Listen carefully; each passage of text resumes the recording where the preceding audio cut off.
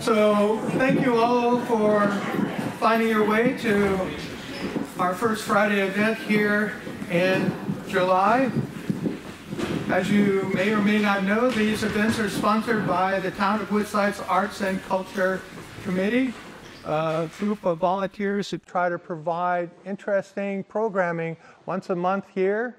Um, this evening, we are very lucky to have our current presenter, and next month, we're going to have natural history continuing the theme with a look at Edgewood Park, one of our local parks. So if you haven't been up there, we're going to have a docent there who will be telling us some of the history.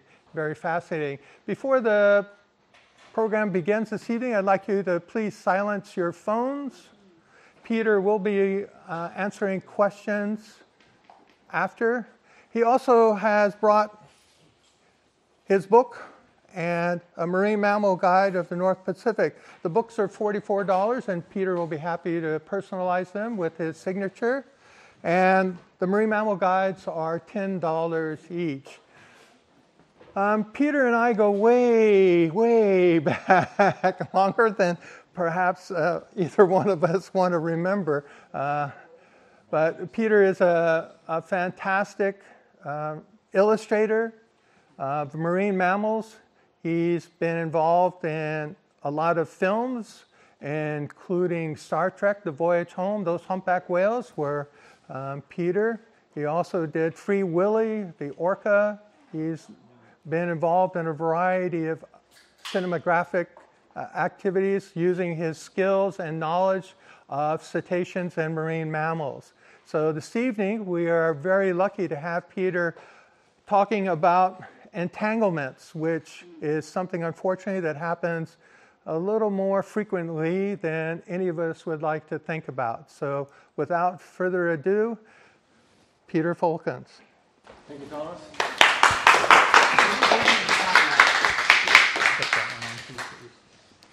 Uh,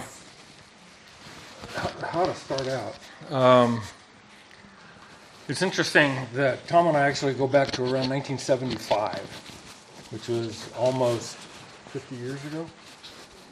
Holy moly. And this was very soon after the Marine Mammal Protection Act came into to, uh, fruition. We have a mutual friend who thinks of entanglements as being whale bondage. And I thought about that term and realized that the first whale that I relieved from bondage was 62 years ago next month. Now, it was a fossil whale that was in bondage thanks to 13 and a half million years of silt, uh, but still at the ripe old age of nine years old, I was digging up whale fossils. And over time, I've, I've actually found six unique species of whales. Um, Well, when it comes to dealing, that's where my, my fascination with whales began. Uh, was that long ago. An interesting side story, real quickly.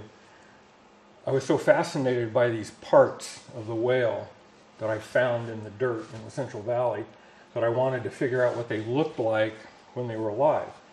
And I was fairly adept at math, and so I would finish my math papers in the fourth grade fairly quickly. And I would spend the extra time rather than sitting there and fidgeting, I would draw pictures of what I thought whales looked like until my uh, fourth grade teacher called in my parents and said, You've got to get him to stop drawing. And so I didn't do any more drawing until high school. And I'll make an interesting link there. One of my classmates from high school, East Bakersfield High School, was here Dave, say hi to everybody. and uh, uh, we shared physics classes, I think math, and maybe a few other classes together. And so it's, it's kind of neat making, you know, that big leap now. Here we are in Northern California, and we went to high school together. And back then, I was uh, getting back into art. Dave can tell stories about some of the art that I did, and all the trouble I got into with some of the double entendres and the, the cartoons and stuff, making fun of teachers and so on and so forth.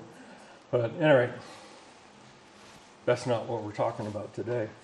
My first marine mammal that I uh, disentangled was in 1979 uh, on the island of Cedros in uh, Baja, Mexico. And the first whale that I was involved in disentangling was in 1996. And so, what I'm going to speak to today is an overview of the entanglement issue, how we got to where we are now, what we're going to be doing in the future, and go over in detail one particular response that had some very interesting aspects to it that I, I hope you'll appreciate. And so, this meeting's being recorded. Okay? Some of you, I know Tom does, know uh, Dr. Roger Payne. He died uh, a couple of weeks ago. Uh, he was a uh, colleague and friend of mine. On a first name basis. We did work in Alaska, and uh, um, we did a lot of work on uh, humpback whales. He was the one who made popular the humpback whale song. You've, you've heard of that. You might recognize his name as well. And so he was a very big mover and shaker in uh, appreciating uh, whales, in particular right whales in South America, the East Coast, and also uh, humpback whale songs that came out of uh, Hawaii. And then also Joe Howlett, which I'll elaborate on that a little bit later on because he plays a part in this whole presentation. And so this gives you an idea of what a whale encounters in an entanglement. All of those little pock marks and the lines and the scars and stuff like that came from an entanglement that was slapping the whale as it was swimming and surfacing. And you'll see scarring as it was working down the body. Uh, you can see the scars on the dorsal uh, peduncle surface. And this animal didn't lose his entanglement it ended up cinching around the tail, and so for literally hundreds of miles, this animal was dragging around a pot. Back in the 70s, when entanglements became a particular concern, a fellow named Jon Lien up in uh, Newfoundland and Nova Scotia area um, got to thinking about dealing with this problem. He was dealing with humpbacks and fish traps and his approach to releasing the whale was to tie in to the emotional state of the whale in order to effect a positive disentanglement. And he told stories about where the manner in which he approached the whale, it's kind of like a horse whisperer, that he was able to have his associates actually stand in the mouth of an entangled humpback whale, and the whale would stick its tongue up to help the individual to cut the lines from, uh, from around the head. And so I, I knew Jon uh, back in the 70s and uh, kind of bought into the notion of the suffering that these animals endure, what we can do to diminish the suffering, and then also affect a disentanglement so the animals could participate in the, uh, in the population. Now, if we go back, uh, the data that you see right here goes back to 1989, is when there was direct observation and quantification of the population of whales. Prior to that, there were a lot of estimates based on whaling records. Um, back in 1966, it was estimated that the whales off the California and Oregon coast were really no more than about 100. 100 animals out of an original population of about 15,000. And so, as, as, you can see, as colleagues in the, in the business were counting whales, doing mark and recapture, uh, tail photo IDs, and so on and so forth, you can see how the population started to rise over the last few years. This takes it up to, uh, uh, I think it's, it's updated 2022. But at the same time, there's a lot of Dungeness crab. There was variations in the amount of crab landings, but they started to go up quite a bit. Now, there's some very interesting things that come out of that graph. When we add to it the confirmed entanglements by year, going back to 1981, roughly uh, the same time that we got the uh, 82s. You'll notice that when there's rising crab landings, there's also a big rise in entanglements. And then you look at the rise in population. Three things were happening all at the same time. There's information in these charts that are not really obvious. One is the discovery of something called the prey compression index. This is a rel- relatively new notion. Uh, what it does, it looks at where the prey items are that the whales prefer and whether they are compressed close to the shore or if they're more offshore.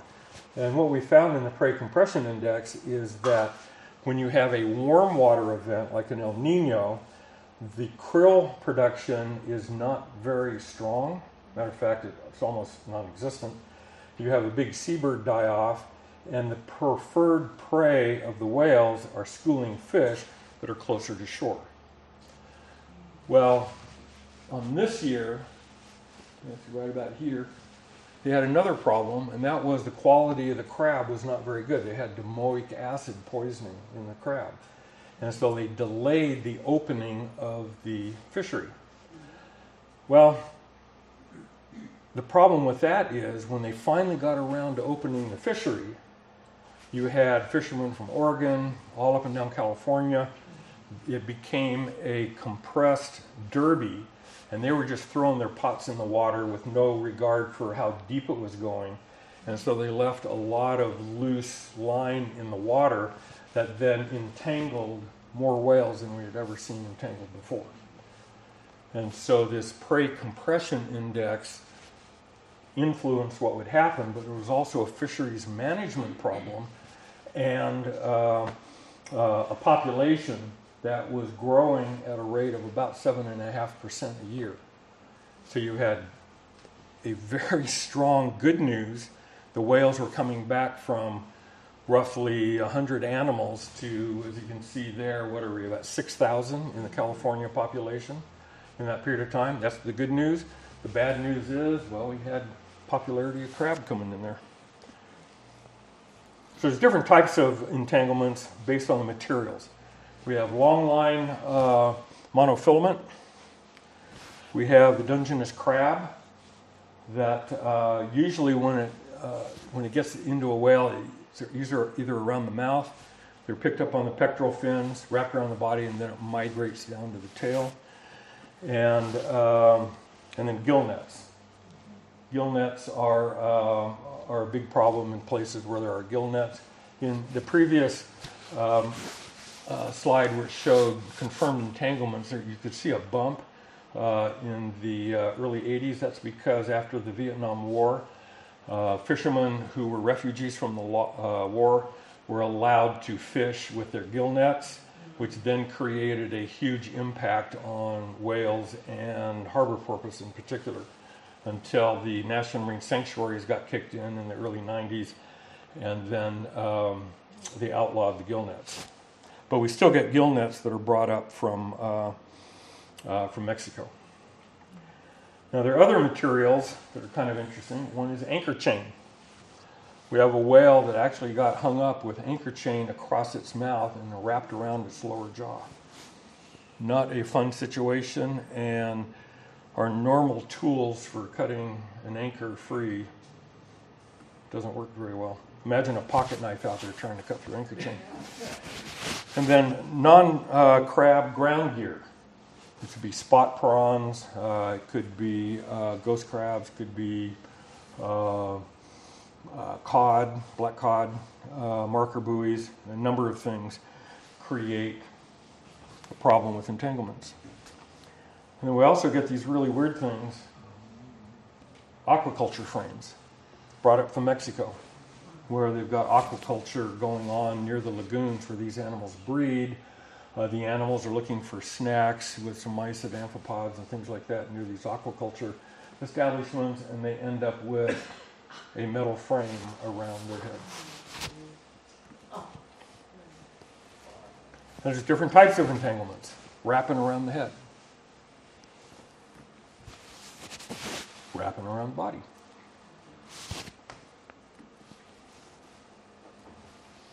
The body wrap that then migrates down to the flukes, creating a very interesting pattern that uh, is seen in a number of different species and a number of different uh, degrees of severity of entanglement. We get a peduncle wrap, which is around the body, and we get a wrap uh, that goes around a pectoral fin which is uh, a little bit difficult because if you've got a lot of weight pulling on the pectoral fin, you can cause an amputation. And you can get with a compound where it goes around the face, around the pectoral fin, and the flukes, and the animal is kind of hogtied. You can't swim very well. And one of the more difficult ones to deal with are mouth entanglements. Um, the one on the right is uh, there's another picture of this animal later on, which is kind of interesting. But the animal is grounded to the bottom by uh, 600 feet of line that goes down to spot prawn traps. And the animal is feeding on its side. You know, go on their side, they open up their mouth, they're uh, pursuit gulp feeders, and if there's a line in the water, they get it. This entanglement was observed from the beginning by a whale watch operator that noticed a lot of uh, flaccid line in the water and said that's going to create an entanglement. Five minutes later, we got this entanglement. The other one is a gray whale. It picked up a, uh, a crab trap and had been dragging it down the Oregon coast, and you can see how it was cutting through the lip all the way down to the mandible. And you have extreme injuries. Notice up here, there's no whale attached. That entanglement caused a complete amputation of the flukes. Here's one that, uh, that I worked on where uh, the flipper is an axilla wrap. Um, there are right whales that have a lot of problems with axilla wraps and are, are killed because it cuts off blood supply and, and they die that way. This animal uh, didn't die, just lost his right pectoral fin. And then also, if a trap gets on and is on for a long time, the animal can't feed and they end up being so severely emaciated they will not survive. And so, one of our goals in the network is to be able to respond to these animals quickly enough to be able to reduce the suffering of slow starvation that happens with this kind of situation. When we're affecting a disentanglement, we oftentimes have to encounter the whale's behavior animal, imagine the animal gets hung up in a, in a trap and they're trying to shake it, they're trying to get rid of it. And so they'll start doing things like breaching. This animal got wrap around his body and he's trying to break the line. Very dangerous to try to walk up to the animal and say, Can you hold still while I cut the line? This remember the, the animal that had the, uh, the line in it and it went down to the bottom that I mentioned a few minutes ago with all the loose line? This is what happened uh, literally about two hours later when we're trying to figure out how to cut the animal free. If you see way up there, that little metal thing, that's our cutting grapple. This animal started to act out when we were up close to it, and so we had to back off. And we did a field modification where I ran a line between two boats with a cutting grapple in the middle, and we drifted into the whale. And as soon as we felt the line, we pulled on one end of it and cut the entanglement, and the animal reacted by doing this, by throwing the gear up in the air. You can see in here, over there is our telemetry buoy. We use a satellite connection to be able to track the animal so we can try to uh, uh, get to it. I have actually lost three satellite buoys because once we got the buoy on, the animal decides to run offshore and then down to Mexico, and oftentimes ends up in the uh, garbage patch in the Western Pacific. Each one of those costs about twelve thousand dollars, so uh, we don't want to do that too often. And then this is one where we'd been working on the animal for a while. The animal is still entangled, but it goes about feeding. So even though the animal has been constrained by an entanglement. We're there, you know, the old words, we're from the government, we're here to help. So we're trying to cut this animal loose. Here we are in our little rubber boat, we're trying to figure out where the animal is, and he comes up and he's feeding, doing lateral feeding while he's entangled. And so we find situations where while we're trying to disentangle the guy, they're busy being a whale, which is actually a good sign. It's telling us the whale's trying to be a whale and he's not targeting us, trying to give us a hard time. Sometimes when we are uh, out there working on the animals, we are a perceived threat. And so the animal will actually lash out at us. And that is the flukes of a whale, and that's my butt. Later on in this disentanglement, the whale slapped at us again, and we all went down in the boat and kind of hunkered down because we didn't know if the animal was going to flip us or if it could hit us. Imagine this animal is a gray whale about 20 feet long, a ton of foot, 40,000 pounds of animal going after what's essentially 800 to 1,000 pounds of human beings in a boat trying to help it. The, the contrast, both in terms of power and mass, is kind of impressive. Now, a key aspect to evaluating entanglements is getting resights and being able to recognize what an entanglement was that the animal broke free. Now, you might recall back in, in the uh, earlier slide, I mentioned on there that there were 270 confirmed entanglements during that period of time that the graph covered, roughly the last 22 years. Well, these mark recapture studies of the whales where we can see evidence of an entanglement tells us that we miss about uh, 9 in 10 of the entanglements. In other words, what we get reported is 1 out of 10. So that means over that period of time, there were not 270 entanglements, there were probably 2,700 entanglements. That's how big a deal it is. And we see different levels of scarring.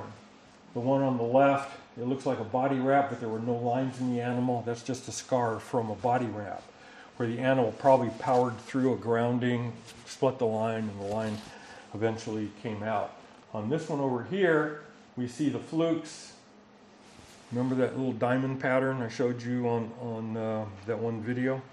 Well, this is one where the animal was not freed and the entanglement simply cut through the blades of the fluke. And so the uh, animal went through life uh, without a fluke. In the process of understanding the whole process and, and what's going on, we try to look at the time involved and the level of injury and whether or not the animal is going to be survivable. This animal was seen uh, fairly soon after entanglement, probably a week later. You can see where the line was already starting to embed. Uh, 30 days later, we, we put a, a, a telemetry buoy on it. The animal ran offshore, went down to Santa Barbara. We're watching our computers every night and we see where the animal's going, and so we launched a response in Santa Barbara. We got to it, and uh, God, I should have added the video to this where I've got the knife going right into that little loop and cutting it right at that loop, and we got the animal completely free. Well, 30 days later, he shows up within 120 feet of where he was first entangled. And line is all gone, still has some uh, abrasion marks, no lines, but he's acting like a humpback whale. So this is one of the examples where we have shown that by responding to these animals in time, they will survive and they become a contributing member to an endangered animal population. So this is the value of what we do. The uh, IWC, the International Whaling Commission, uh, 25 years ago put the value of a whale at a million dollars a piece, the commercial value. And uh, some people have taken that to show that the uh, natural history, the whale watching business, what they contribute to the environment is worth at least a million dollars. So our meager little response to cut this animal loose essentially had an impact of a million dollars on the uh, environment. inflation might have that up a little higher than now. Now I'm going to talk about one entanglement response. Go back to July 5th, 2017. Joe Howlett was killed by a humpback by a uh, right whale while he was trying to disentangle it. Uh, the circumstances were that he had uh, removed almost all of the line and decided to go back and get the last little bit of it. Well, at that time, the whale was feeling more free and was trying to get rid of the last of the line. And the flukes came up and popped Joe and killed him. He was the third responder to die doing this. The National Marine Fisheries Service, that controls the permit that Joe and myself and other people operate under, shut down the disentangling operations throughout the United States, including Hawaii, West Coast, East Coast. Just said, okay, everybody stop. We got to figure out what happened because we can't let this happen ever again. Well, a week later, we get a report from Northern California, outside of Crescent City, that they find this. And it's close enough to shore that recreational boaters, fishermen can all see it.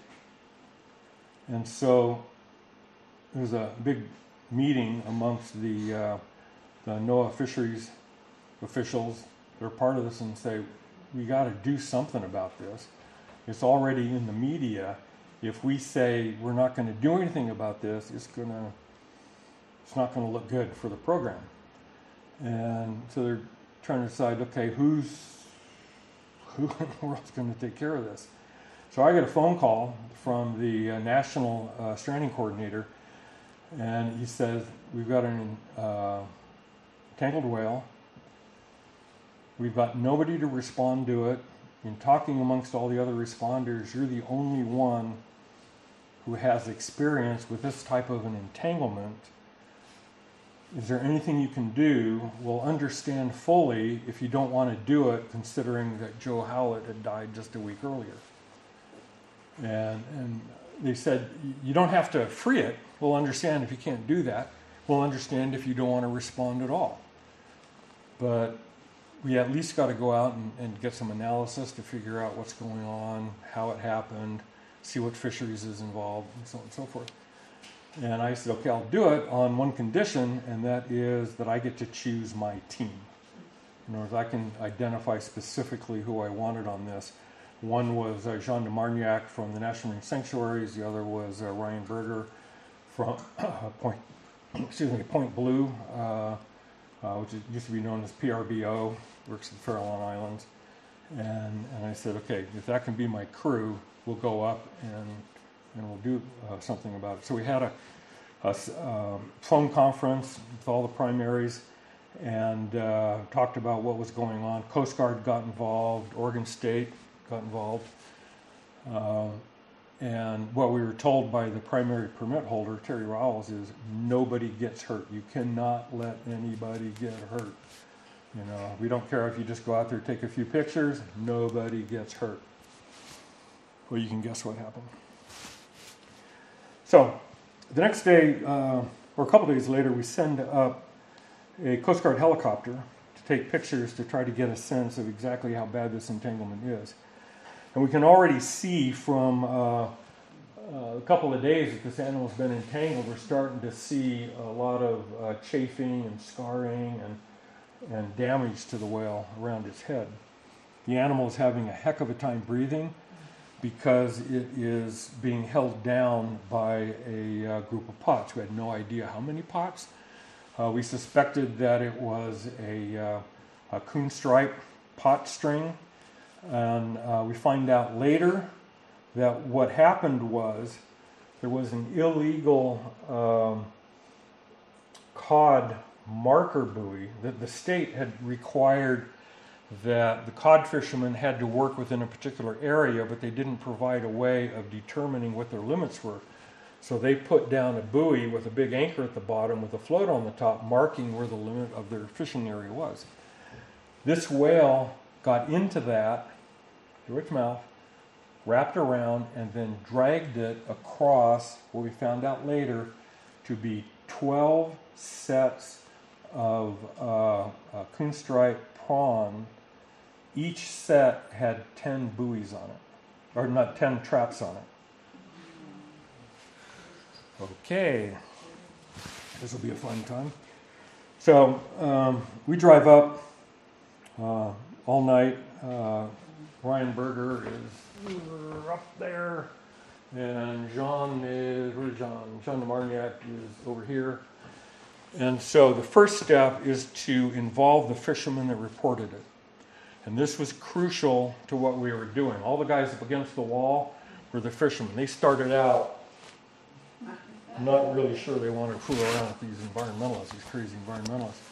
By the end of the meeting, they were loosening up. We told them we're, we can't save them all, but we're going to do what we can for this animal. Coasties are over there. They gave us a, a cutter. And then uh, in the middle are people from uh, Oregon State University, Humboldt State, and a rescue group called uh, the North Coast Marine Mammal Center that deals primarily with pinnipeds. And so I set the tone of expectations. Everybody had their job. We got our butts in gear bright and early the next morning. And uh, we had two primary response boats plus the Coast Guard cutter. And so we hooked everything up, added air, uh, got all the gear together, got the team together, and then went out looking for the critter. Uh, went a few miles offshore. He found the animal. When they're coming up at an angle like that, they're telling you they're having a very difficult time breathing. This animal had been in this state for more than a week now, having difficulty breathing. But we're seeing buoys in lots of different places. Mind you, at this time, we didn't know what we were dealing with. So we launched a drone out of the, um, cutter. The drone operator was from uh, Oregon State University, a very competent guy. One problem was is that these uh, Coast Guard ships have really sophisticated radio communication stuff, which starts to get in the way of the drone stuff. And so we were losing contact with the drone until we figured out what was going on and toned down the uh, electronics on the on the cutter to where we could get a a, a view of, kind of what we were dealing with at the whale. So we had a tag line up there that had a buoy off the far end there was a bullet buoy off the mouth. There was a wrap around the head, which indicated it was probably a mouth entanglement. We had additional buoys that were around the right pectoral fin, plus additional buoys that were wrapped around the flukes. A compound entanglement, one of the most complicated ones that we'd ever seen before. When we got out there, we started to do our underwater look with our GoPros and we we're supposed to interpret what's going on with this kind of an image, but we can figure out which lines are going under the body. Uh, we, the white of the pectoral fins off to the side, so that confirmed that there are buoys tightly cinched up uh, next to the pectoral fins, and then we've got a line that goes up to the gape of the mouth. Well, by that time, the fishermen are advising us that they think that there is a string of pots and they know where the end of the string is, where one of these multiple strings is. And so we said, you know what might be useful is if you get onto that end, knowing that the whale's at this end, why don't you start picking up the pots at that end? One of the main things I try to do is remove the gear from the environment. Not just save the animal, but remove the gear. I don't like the idea of cutting the animal free and saying, hey, we saved the animal and then you're leaving all this crap in the water. So I try to pick up the gear as, uh, as best we can. So remember this image and the amount of spooling that you see and the one line that's coming down. That image changes. So the drone's up, drone's taking another look. We have it set up where we can see the polyballs and the bullet buoys and the stuff that's around the whale. We have the um, tag line to the system you notice my engine is up because if I'm running the engine and I'm running up to the animal, it's going to be bothering the animal. I mean, you imagine, you know, I'm sneaking up on you and I'm going, no, it doesn't work too well. So I wanted to go up as quietly as I could. And so we walked up that line so we could get close to it, so we wouldn't wouldn't make the animal be afraid of us. And then we had the support boat, and the um, uh, National Marine Fisheries guy said that in case anything is going wrong, we want the support boat to be able to pull you off of the whale immediately. So they put in a tagline to pull us off as we were getting closer to the whale. So we get up there and we're trying to let the whale know. You, you see Jean over here, he's got his hand on the yellow line. He's walking us up on the whale while we've got our poles out. And what we're doing is we've noticed that the whales sometimes are scared by the light reflection off the knives. And so one of the things that we learned from this is that we now paint our knives so they're not reflecting light. Because we got, uh, as we put the knives up, the whale could see it and the whale would react it would go down and come back up and then go down again. And so as we snuck up and got within one pole length of the animal, the, the total length of the pole is 35 feet. And so we're roughly 30 feet from the whale. And so what we do is we touch the back of the whale, saying, that doesn't hurt, does it? Kind of like what you do with a horse. You know, you want to get, get the animal sensitized and realize that this big, long, weird thing in the air that you've never seen before isn't there to hurt you. So we notice the line going across the top. That this is around the mouth. This is probably where it hurts the most. We want to work from the head back to the tail. So we want to start here. Fascinating thing about this animal, it, it did those aggressive kind of uh, headbutts. And then as we touched it and we made additional approaches, the whale then settled down. And at one point where we moved up to the whale, darn it all, if that whale didn't turn towards us to present the line, and what we saw was a gap right uh, behind the blowhole, kind of where the the uh, scapula and stuff come up, and then you've got the, the central vertebrae. There's a little dip in there, which became our target place to put our first knife. And so we hooked onto it. You can see by this picture the animal's tilted towards us a little bit. And so we got the knife under there, and then one cut, we got both lines. So from there, you can see the line that went over the top of the head is now sticking up. So we're now controlling the animal with this polyball we're seeing all of these other buoys that are going down to the pectoral fin, and we're trying to figure out how do we simplify this entanglement. Meanwhile, the animal's doing head outs and giving us really strong blows and stuff. And remember what the feds told me? They said, you know, nobody gets hurt. Here we are with the whale underneath our boat, and we're we got big sharp objects and we're pointing at the whale. And so we're going about our business, hoping that the whale understands. And so Ryan here is uh, got a pole with a camera down there. We're trying to figure out is there anything at the fluke or at the pectoral fins where we can uh, start to reduce the wrap around the pectoral fins. But we're also noticing over on that side, the length of that rope that used to go over the top of the head was less. Also, the attitude of the whale was now flatter at the surface. The part from the other side of that cut that went down to the flukes was sitting over here. Remember, that line used to be over there. So that connection was starting to do what we call flossing through the mouth. So the line was loosening, and the animal was able to rest at the surface a little bit more.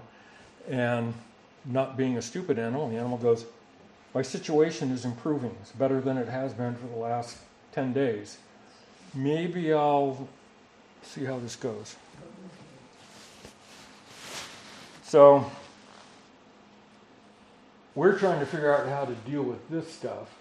Haulback line. The whale actually comes down and underneath our boat. Again, going back to what the Fed said, nobody gets hurt. We've got this animal's powerhouse right under our boat. From the first sighting, this was taken off a guy's cell phone and so we had to enlarge it. But we're noticing the damage that has been done to the whale. And you can see where we cut it. That cut used to be over on the other side of the blowhole. So there's probably a good two and a half, three feet that has already flossed through the mouth. But we're seeing damage that's done to the animal's uh, maxilla. Now, this is something that I had seen before in uh, a whale specimen that was at the uh, National Museum associated with the Smithsonian. So you can see as th- this is the um, uh, upper palate of the whale. You can see this line was cutting into the palate. Imagine if the roof of your mouth, you know, had, had been abraded that way, and then up on the max- maxilla, the second arrow shows where it was abrading the bone that was there. So it had already cut through the uh, the skin and was abrading the bone. And then you can see a big notch over by the maxilla. If I if I back up a little bit, you can see over here how it has cut into the maxilla. That's exactly what happened to this animal on the same side of the head. So it's something that we've seen before in, uh, in whales, and we know the damage that it can do. But over the course of this disentanglement, now we've got this where there's only a couple of inches of frayed line when it used to go all the way over the top of the head. We're making progress. Yay. This is the edge of my boat. This is the whale coming up underneath my boat. Well, we got a really good look at the uh, line there, but the haulback is on the wrong side of the whale. So that doesn't help us out at all. So I make a decision in the field that, all right, no more haulback line, that's too dangerous. I'd rather be thrown into the water and wearing a uh, life jacket than being pulled against an angry whale that hits me because I can't get away from it. So we decided to, uh, uh, to stop the pullback idea and see how this animal uh, ta- uh, deals with this. Now imagine the blowhole. The blowhole's about this big. All right, the whale. This is the edge of the boat, and I'm standing there, that close to it. So our, our, our, three responders are all in this boat right next to it as the whale comes up and blows whale snot on us. And, you know, you gotta clean your glasses and stuff. So this is one of those oh shit moments where you're going, all right, I was told nobody gets hurt and you got this whale doing this. Well, it uh, didn't get any worse from there. The animal, again, uh, there's, this is the middle of my boat. This is where it says whale rescue on it if any of you know photography, you know how a wide angle makes it look farther away. Uh, it's kind of like in the Jurassic film, you know, objects are closer than they may appear. Well, that's what we have going on here because it's a wide angle lens. I can just barely get the animal's head inside this wide angle image. We got our knife right there. We're supposed to be trying to get the stuff off his pectoral fins when he comes up underneath the boat. So we're having to deal with that. The animal settles down. We picked up Dennis. Dennis is a veterinarian with North Coast. And so there we are with our, uh, our buoys. We put a grapple down because what we're trying to do is grapple the down line and pull it up to the surface so the animal can relax completely at the surface. And so that's what we're trying to figure out here. I'm holding on to one of the lines that goes down to the flukes. John's holding on to another. Uh, Ryan's got one of the big floats that we want to put onto the grapple to try to get this this thing pulled up to the surface. And Dennis is back there with what's left of the haulback line. Meanwhile, the fishermen have, are winching up the traps. Remember in the earlier image I showed you the one line? Uh, you're going to have difficulty counting all of those lines now we've got one, two, three, four, five, six, seven traps, plus the traps that have already been brought up, plus all of these additional lines that are going down to more traps. This is what the animal had to deal with. So as they're working at it, they get to the point where our grapple comes up. I mean, what was I thinking? That I could put my little grapple on that and pull all that crap up by just three guys in a, in a small boat. So they're winching this up. You can see all the traps being stacked in the back. These are still lines that are all going out to all these additional traps that aren't up yet.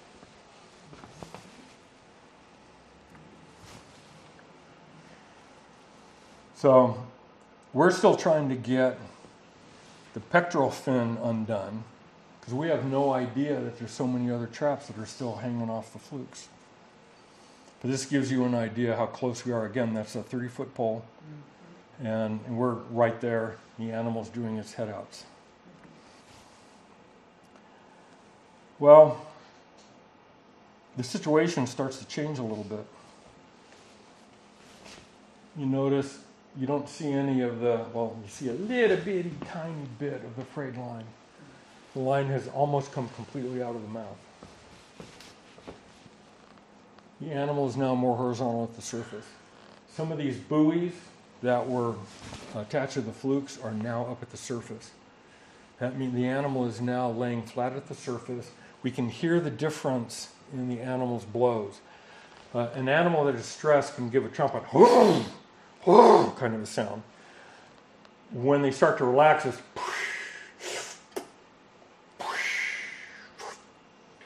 and the distance between the blows starts to change.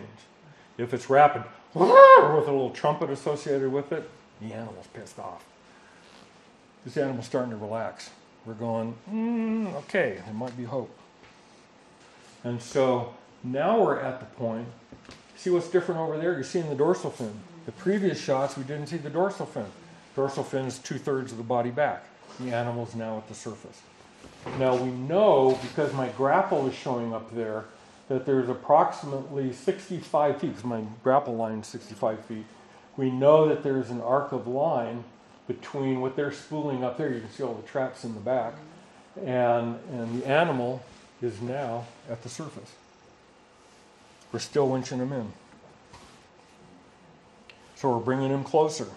So now we've got a line that goes straight down. Now we're thinking, we got the knife all ready to go. We're coming in. I'm driving because uh, I, uh, I'm a level four. The level four is responsibility for the rest of the crew. So I want to be driving so that if I need to back out, I can do that. And so I, I put my right hand guy, Ryan, on the bow, and uh, then Dennis is taking photographs. And so we're going in there thinking that all we have to do is cut that line, the animal will be free. Fat chance. We start getting closer, the animal starts to feel what's being pulled on it. It's getting closer, and it's now not acting out at us, but it thinks that it can shake the line. My boat was very close to that line, and I didn't want to get between the whale fluke doing that and a hard metal object on the ocean remembering nobody gets hurt. Also remembering the times that I got slapped by a whale fluke and remembering Joe Howlett. So we see that going on. So we back off, we move to the other side of the whale. The whale is now up close to the fishing boat. We told them stop winching. We let the animal relax. Very easy blow. Not a not a stress. He's straight back. His flukes are at the surface. He can breathe easy now. He does something kind of interesting. I don't know if you can tell the body shape. He's turning around and he's looking at the boat. Mm. What is going on? Why am I in this situation? See that, that big curve there? It's called a predator inspection. He's, he's, he's looking back to say, okay, there's something going wrong with my flukes, and I want to see what's going on. So he turns around and he can actually take a look at his flukes. We get the knife up on the boat. We've got the last of the lines that we can deal with. The whale could very easily be thrashing. Completely calm. These were the last cuts. This is, you can see all the chafing that was caused by the multiple wraps. We've already got a bunch of leftover stuff in the wild. There's only three more lines across there. So we can cut those fairly easily. And so at this location, the animal was cut and was finally free. You can see how all the lines went, uh, went loose. The whale's flukes are here. The animal's free. Well, what do you think happened next? Hmm? Well, truth be known, I was doing this with a slip disc the whole time. I had to call the support boat to bring over as much Excedrin as they could. But the animal's free. So, what do you think happened? Well, the animal swims over to our support boat, which is very handy because one of the things we want to do is get photo ID of the animal to try to track it to see its survivability. Well, fisherman. come back three times and say thank you. That's the fisherman talking, not me. Watch the fisherman. Oh my gosh, we saved a whale. The whale, in fact, came back to this boat with all the cacophony of the generators going, the winch, and all of that, and it actually circled the boat three times. Well, in that process, we were able to get the left lateral and the right lateral dorsal fin so we can try to identify this animal uh, at another time. The drone was getting dorsal shots to see if we could get enough sharpness of the trailing edge of the flukes, try to get an ID that way. The only underside photos we got were taken on a cell phone about uh, 150 yards away. And so we got those pictures, we enlarged them. The problem is that the algorithms that sharpen the images took too much detail away from the trailing edge, and we could not use our identification algorithms to identify this whale to see if it was in the, uh, in the catalog. So all we really had to go on was the, uh, uh, the dorsal fins. So we put the drone up, and there's the whale on his third pass going around the boat. Now you'll notice that they're winching up the remaining line of the, uh, of the sets. And the whale is right there underneath all that noise. Our support, support boat's coming over to retrieve our buoys and stuff. While this animal is uh, still just checking it out. Here he comes up. You see that? How he's turned towards. Easy blow. That was not a forced blow. He's right there. You got the lines coming across. The whale doesn't care. I'm over here saying, where the hell did the whale go? You have some miscellaneous pieces that we had cut free over there that we had to go go grab. The support boat's coming up. The whale is just sitting on the transom. Support boat's coming up. The whale swims towards the support boat makes a right turn as they're throwing buoys overboard. The uh, support boat is not aware that the whale's there. But if you watch very carefully, there goes one of our buoys being thrown over. You'll see the whale come up right there on the left quarter or the port quarter of the of the fishing boat. See him? He's coming up. There he goes, right there. Not concerned at all. So we're picking up all of our garbage that we'd, we'd left in there. And so this whale then comes around the front and, like a good Western, swims off into the sunset or rides off into the sunset. So.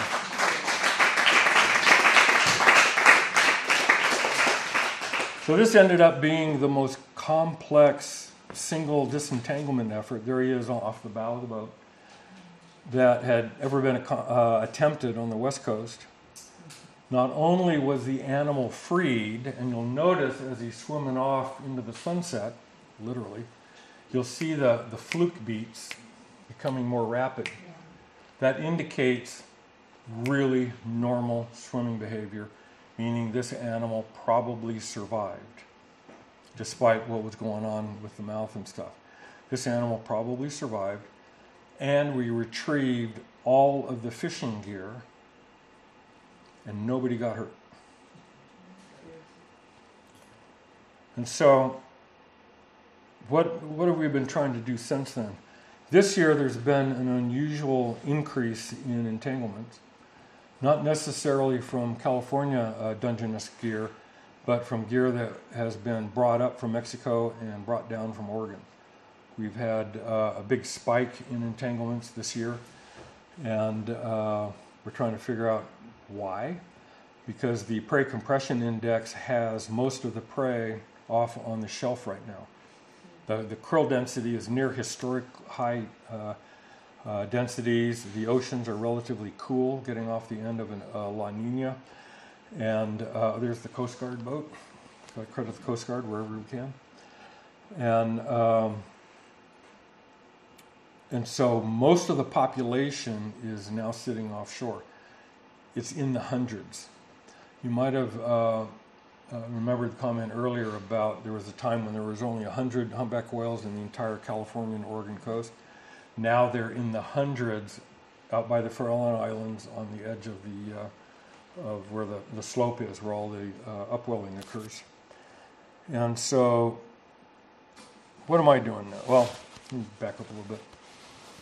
One thing we're trying to do is look at the survivors and try to get a, uh, a sense of exactly how successful we are uh, with, these, with these disentanglements. And so here's one an animal that, that was nicknamed Rope. It's in the catalog. CRC is Cascadia Research Collective. And it was first uh, documented as an entangled adult in, in 2009, and since then it's been seen 22 times. Uh, most recently on my birthday in uh, uh, 2019. And the whale returns to the same area every year. And so we're now collecting a catalog of these animals that were known previously entangled who have survived to kind of say, yeah, maybe what we're doing is a good thing. Now, one of the things I want to do, I'm doing, involves that creature. It's a black Labrador retriever named Luke, spelled L E U K. You get bonus points if you can figure out the play on words. What I'm training Luke to do is smell the stress cortisols that are emitted by an entangled whale. We have a big problem that when we hear that there is an entanglement, we need to get the team out there to find it the reporting party can't always stand by. So we have to go out hour, two, sometimes days later to try to find the entangled whale to deal with it. Well, if an entanglement is holding the animal down and you've got any sort of a bump in the ocean, finding the animal is going to be very difficult. But we know that the whales give off stress cortisols when they're entangled. I mean, like if, if something happened to you, if you got injured, you're going to start blowing off stress cortisols. And so the dog can pick that up. And so we're, we're training him to pick up on the stress cortisols as well as the smell of uh, decomposing flesh. Because we have to have the combination of the decomp and the stress. Because when, an, when a humpback whale is nominally behaving like a humpback whale, it's a social animal, and sometimes they will be uh, battling each other. And when they get pissed off at other whales, they will be blowing off stress cortisols as well. So when we're dealing with dozens of humpbacks in the same area, we got to pick the one that's entangled. And so we have to combine the uh, decomp with the stress cortisols. And so um, I'm working with Luke to, uh, to try to figure that out. And so that's kind of a, a new project for me. And um, so that's what I do. Thank I'll you, stay here as long as people much. ask questions.